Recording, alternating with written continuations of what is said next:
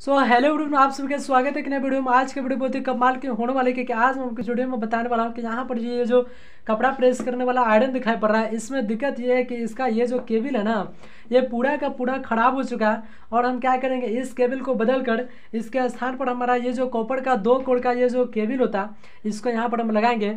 और मैं आपको बताने वाला हूँ कि ये दो कोड का केबल लगाते समय बहुत सारे व्यक्ति जो है एक मिस्टेक कर देते हैं। और उसी मिस्टेक की वजह से यूज़ करने वाले यूज़र को बिजली की भारी मात्रा में झटका लगता है और उसको चोट पहुँचती है। तो वो कौन सा मिस्टेक है? जो सभी लोग गलती करते हैं, इसको दो कोड का केबल कनेक्शन करते समय, वही मिस्टेक मैं आपको बताने वाला हूँ। तो चलिए इसके वीडियो को क्या करते हैं ओपन कर लेते हैं। तब तक आप वीडियो को लाइक कर दीजिए चैनल पर को सब्सक्राइब करके बेल आइकन को प्रेस कर दीजिए और इस वीडियो को लास्ट तक देखने के बाद अपने दोस्तों में भी शेयर कर दीजिएगा, ठीक है? तो चलिए इसके वीडियो को पहले ओपन कर लेते हैं।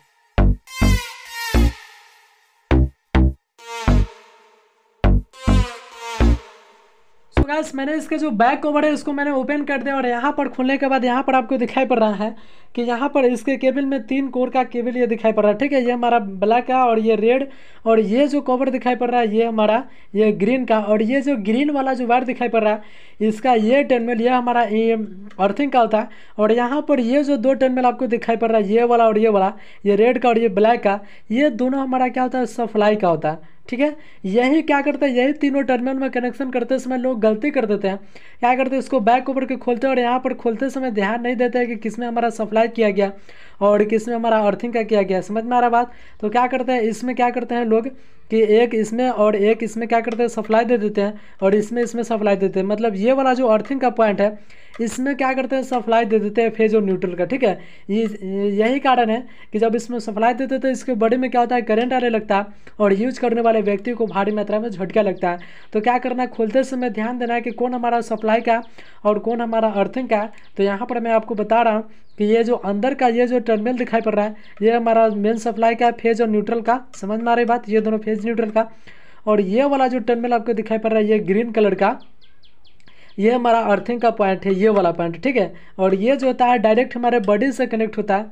क्या बॉडी से कनेक्ट होता है ताकि इसमें जब एक्स्ट्रा विद्युत का लीकेज करंट जब इसमें प्रवाहित होता है तो ये हमारा अर्थिंग की सहायता से हमारे ग्राउंड में चला जाता है। और इसमें क्या करते हैं लोग, यहीं पर गलती करते हैं कि इसमें सप्लाई का कनेक्शन कर देते हैं, जिसके कारण लोगों को झटका लगता है यूज़ करने में। समझ में आ रही बात? तो चलिए अब हम क्या करते हैं, ये मिस्टेक आपको समझ में आ गया कि इसमें मिस्टेक क्या नहीं करना है। इसमें और इसमें ये वाले पॉइंट जो हमारा अर्थिंग का है, इसमें सप्लाई नहीं देना है, ठीक है? ध्यान रखना है, इसमें सप्लाई नहीं देना है। ये और ये दोनों पॉइंट जो आपको दिखाई पड़ रहा है यही हमारा मेन सप्लाई का है? अगर आपको पहचानने में दिक्कत हो रही है तो यहाँ पर देखिए, ये जो हमारा लाइट जो है ना लाइट लाइट का यहाँ पर ये दो टर्मिनल दिखाई पड़ रहा है, ये छोटा वाला, ये और ये वाला। तो जिस जिस जिस टर्मिनल में ये दोनों वार्ड कनेक्ट होंगे ना, उसमें हमको क्या करना है? सप्लाई का कनेक्शन करना है। समझ में आ रही बात? तो यहाँ पर देखिए, ये हमारा इसमें टर्मिनल कनेक्ट है। और ये वाला इसमें कनेक्ट है, समझ में आ रही बात?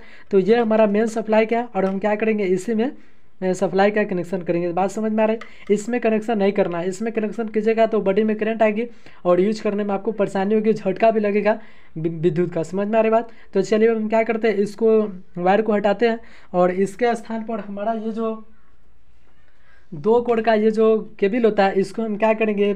जो दो वायर दिखाई पड़ रहा है इसको हम ये दोनों टर्मिनल में सप्लाई देंगे। चलिए अब हम क्या करते हैं इसको खोलते हैं और इसमें ये वाला केबल का इसमें कनेक्शन कर देते हैं ठीक है?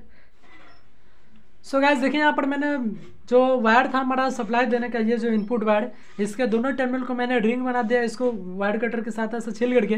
अब चलिए हम क्या करते हैं इसको ये जो हमारा नट है इसमें क्या करते हैं लगा देते हैं। और लगाने के बाद जैसा कि मैंने बताया कि ये दोनों टर्मिनल जो है उसी में हमको क्या करना है सप्लाई देना ठीक है? तो देख पा रहे हैं। यहाँ पर क्या करना है? ये जो नीचे से जो वायर दिखाई पड़ रहा है ना, यही दोनों टर्मिनल हमको क्या करना है? सप्लाई देना है, ठीक है? मेन सप्लाई यहाँ पर आपको क्या करना है? नहीं देना है सप्लाई क्योंकि ये वाला जो था वो अर्थिंग का था और ये हमारा दोनों सप्लाई का था, ठीक है? तो इसमें हम क्या करेंगे? सप्लाई का कनेक्शन करेंगे। तो चलिए क्या करते हैं? ये दोनों वायर को इसमें कनेक्ट कर देते हैं फटाफट।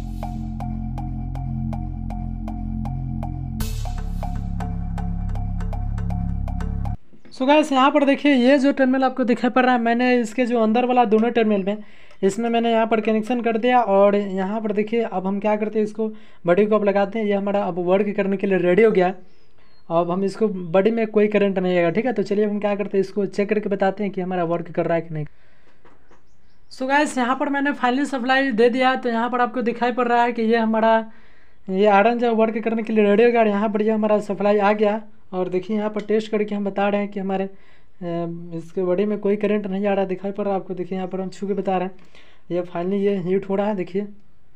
तो चलिए, आज के लिए इतना ही। वीडियो चलेगी तो वीडियो को लाइक कीजिएगा, अपने दोस्तों में शेयर कीजिएगा।